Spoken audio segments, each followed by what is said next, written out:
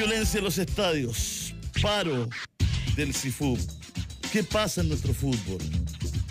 Se lo preguntamos, compartimos alguna reflexión con el presidente del CIFUB, Gamadiel García. Gamadiel, ¿cómo está usted? Julio César, buenas tardes, ¿cómo está usted? Por acá preocupados, pero, pero bueno, pan de cada día al parecer. Bueno, Gamadiel, ¿qué está pasando? Quiero que sientes que ha ocurrido. Eh, eh, vamos a partir, vamos a terminar con, el movimiento, ¿no es cierto? Con el tema del paro. Partamos por la coyuntura, lo que ocurrió ayer. ¿Qué, ¿Cuál es tu reflexión de lo que ocurrió ayer? Bueno, nosotros hemos presentado hace bastante tiempo al Ministerio de Justicia, perdón, al, Ministerio del Interior, al Estadio Seguro, al, al Ministerio del Deporte, medidas para poder reforzar el tema de la seguridad en los estadios de nuestro país. Como todos ustedes saben, la mayor parte de los estadios no pertenecen a ninguna institución deportiva, son estadios que o pertenecen al IND o pertenecen o, son del Estado, por lo tanto estamos estamos fallando primero en los controles de seguridad, segundo en las tecnologías y tercero cuáles son las cuáles son las las sanciones que tienen que son deberían ser ejemplificadoras para la gente que, que va a un estadio a cometer delitos del por ejemplo del calibre que vimos ayer. Por lo tanto de ahí en adelante hemos trabajado como te dije con, con todas las autoridades y lamentablemente no hemos tenido la, la velocidad que requiere el deporte para tener esta esta información desde o, o desde el desde el gobierno o desde la Cámara de Diputados que creemos que es fundamental para que podamos avanzar en esta ley. Medidas como cuáles, eh, si pudieras ahí ayudarnos para desarrollar poquito, si hemos presentado ideas, medidas, medidas como cuáles, para que, para que la gente se haga una idea. A ver, ya ya se está trabajando en, en, un registro nacional de hinchas, se está trabajando también en con cámaras biométricas que, que van a, de una u otra manera, van a detectar inmediatamente quién tiene alguna eh, algún impedimento para ingresar al estadio. Lógicamente la tecnología va a ser fundamental porque a través de la tecnología podemos identificar a gente que no tiene o no puede ingresar a los estadios. Eh, hemos también pedido torniquetes que dentro del, tema de tecnología también va a facilitar que, que por ejemplo, no, no hayan turbazos dentro de, algunos estadios, dentro de algunos de algunas posiciones que son específicas en los estadios de Chile, en donde están entrando hinchas a fuerza.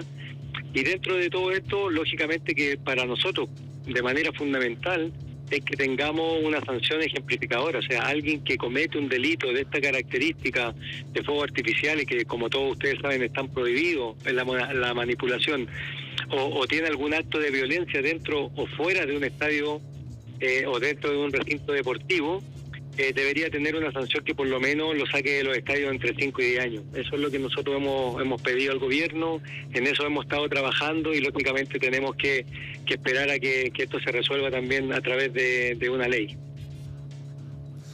Ya más bien, eh, pero la, la, la, historia con las garras bravas y con las barras bravas es vieja, es antigua. ¿Por qué crees tú que no se ha podido solucionar en tanto tiempo?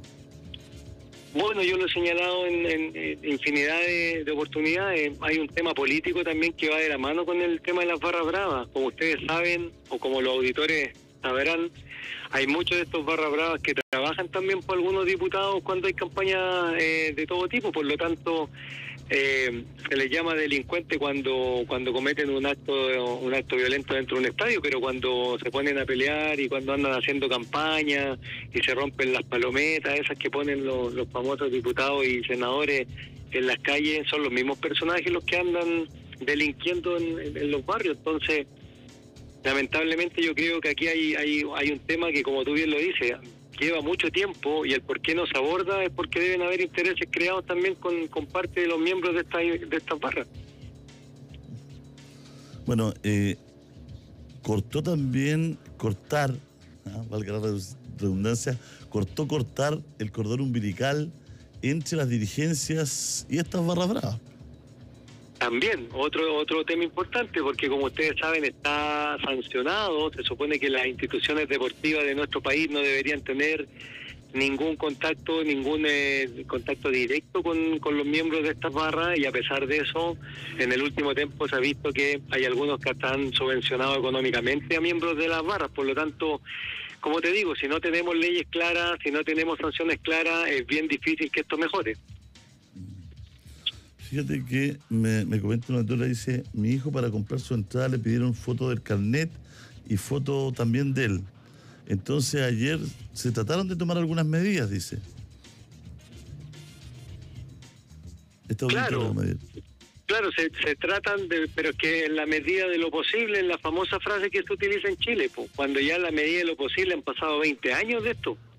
Entonces el tema es que se aborde de, de forma real, en donde, como te digo, si no tenemos, si no tenemos tecnología asociada a esto, si no tenemos eh, torniquetes que impidan estos, estos famosos turbazos o, reventones que se hacen en algunos estadios, si no tenemos una ley clara, la verdad es que vamos a seguir siempre tratando de parchar algo que hace rato ya está malo, que hay que cambiar.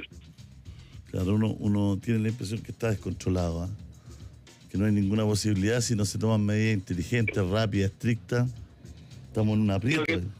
Claro, Julio César, lo que pasa es que dentro de las medidas también eh, es que los equipos puedan invertir económicamente en guardias de seguridad. O sea, tú no puedes pensar que un, un señor eh, jubilado de 65 años que va a trabajar por 20 mil pesos va a detener a un desaforado que quiere romper algo, que quiere pegarle a alguien. Entonces eso también está dentro de lo que hemos solicitado como gremio, que efectivamente los guardias de seguridad y lo, por ejemplo, los que los que están en el perímetro interno del estadio, los que están dentro del estadio pueden tener también ciertas características, ciertos equipos, cierta cierta eh, el uniforme tiene que tener alguna característica estandarizado para que para que ellos también puedan trabajar con tranquilidad. Hay tanto, hay un montón de temas que, que podríamos abordar y un montón de temas que podríamos tocar, pero mientras sean las instituciones las responsables de la seguridad, esto va a seguir ocurriendo porque quieren ahorrar, porque no quieren gastar y porque efectivamente quieren eh, generar un espectáculo eh, millonario gastando poquito. Gamadiel, ¿qué pasa con el paro? ¿Qué pasa con el movimiento? Bueno, eh, estamos desde la semana pasada ya decretamos que los jugadores están en paralización de actividades mientras no se cambie la medida del sector extranjero en cancha. Creemos como gremio y creemos también a través de nuestro asociado que es una medida que no beneficia para nada el crecimiento ni el desarrollo de nuestro deporte o de nuestros deportistas jóvenes, no beneficia en nada el crecimiento de nuestras selecciones adultas y, menores. Por lo tanto, estamos firmes en nuestra postura, una postura que ha generado consenso, eh, un consenso extraordinario, eh, transversal. Y espero que el Consejo de Presidentes entienda que esta medida votada por ellos no tiene ningún beneficio para nuestro fútbol. ¿Qué es lo que le han dicho al presidente de la NFP? ¿En qué conversación están hoy día? Bueno, él está a favor de lo que nosotros hemos propuesto y de todo lo, que hemos puesto sobre la mesa también a través de información, estadística, información relevante para, para tomar una determinación como esta. Eh, entiendo que lamentablemente hoy día la el que indica, pues, perdón, el, presidente de la NFP con su directiva no son quienes son eh, los que votan y quienes son los que de una u otra manera determinan cuál es el desarrollo del torneo y cuáles son las bases del torneo. Esto lo generan los presidentes de cada una de las instituciones, por lo tanto, es ahí donde está el verdadero problema del fútbol chileno, en donde instituciones que tienen... conversación es con el presidente de la NFP, él, él ejerce un liderazgo, él llevará, él lleva la conversación de estos presidentes que tú dices que son los responsables, que los que toman la decisión y todo, pero eh, tú no puedes conversar con todos los clubes, ¿no? No, para nada, pero esta es una pirámide invertida, Julio César, donde eh, los reales, los que realmente toman las decisiones, eh, que son las bases de los torneos, cómo se desarrollan los torneos, cuál es la competencia que tienen, son los presidentes de los clubes y no el presidente de la NFP. Lamentablemente es así.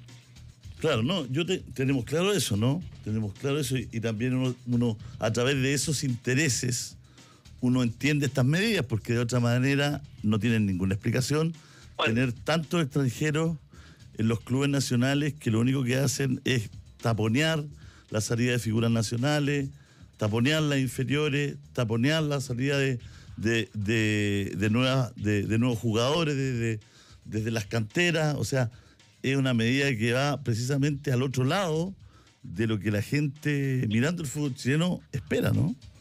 a pesar a pesar de que somos organizadores de, un mundial bastante importante de la categoría sub-20 del 2025, o sea, ni siquiera eso nos hace reflexionar en tener un torneo que a lo mejor tengamos un poco más de gente joven que de extranjero. Por lo tanto, aquí, como tú bien lo señalas, hay, hay un negocio que está desmedido, un negocio que lamentablemente eh, no busca invertir ni en el mediano ni en el largo plazo, sino que quieren resultados inmediatos y contraer extranjeros eh, es lo que están buscando. Ahora, si esos extranjeros vienen a aportar, como lo dijimos, bienvenido, bienvenido, porque porque creo que hace mucho tiempo atrás venían extranjeros de calidad y quisieron crecer el fútbol chileno. Pero las estadísticas hoy día nos indican que la mayor parte de los extranjeros a Chile no vienen a jugar.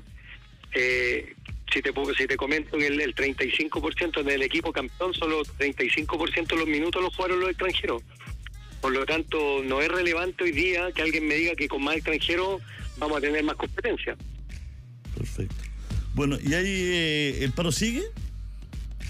Sí, sigue hasta que no se revierta esta, esta medida. Pues, como te digo, espero que el día miércoles, donde está citado el Consejo Presidente, eh, las voluntades del Consejo estén con, con, con lo que nosotros opinamos como gremio. Ahora, esto no es ganar ni una batalla ni nada por el, por el estilo. Nosotros lo que queremos es aportar para que el fútbol chileno crezca. Ahora, si los presidentes están en una en una en, en una vereda contraria, que lo señalen, que, que lo señalen abiertamente y que y que bueno, cada quien tiene que tomar la determinación que le corresponde. Pero pero siento que esta medida la pueden revertir, pueden estar las voluntades y es lo que esperamos para el día miércoles.